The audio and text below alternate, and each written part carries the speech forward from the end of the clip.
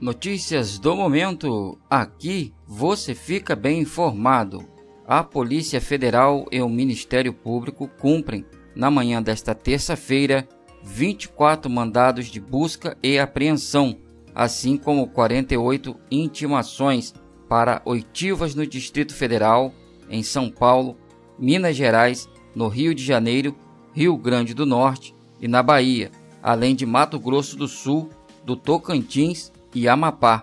São investigados os crimes de corrupção passiva, organização criminosa, lavagem de dinheiro e associação criminosa.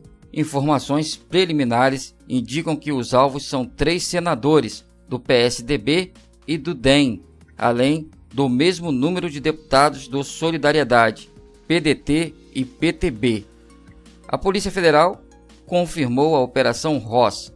No total, 200 homens trabalham na ação, que investiga o recebimento de vantagens indevidas por parte dos parlamentares no período de 2014 a 2017.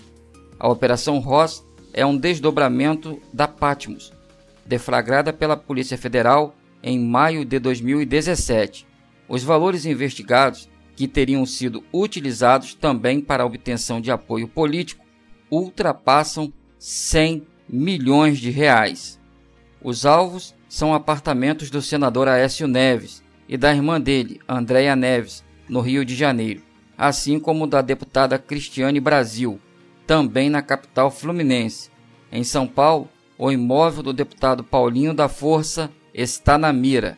São investigados na ação também os senadores Agripino Maia e Antônio Anastasia e o deputado federal Benito da Gama. Os mandados de busca e apreensão foram autorizados a partir do inquérito 4519, relatado pelo ministro Marco Aurélio Melo do Supremo Tribunal Federal. A operação se baseia em informações de empresários que teriam relatado a promotores a emissão de notas fiscais frias. Há denúncias que estão sob investigação sobre a suposta compra de apoio político do Solidariedade e que empresários teriam ajudado com doações de campanha e caixa 2 por meio de notas frias. O nome da operação é referência ao explorador britânico que dá nome à maior plataforma de gelo do mundo, na Antártida, fazendo alusão às notas fiscais frias que estão sendo investigadas. As informações são da Agência Brasil de Notícias. Obrigado pela audiência. Inscreva-se no canal e ative o sino para receber notificações sobre novos vídeos.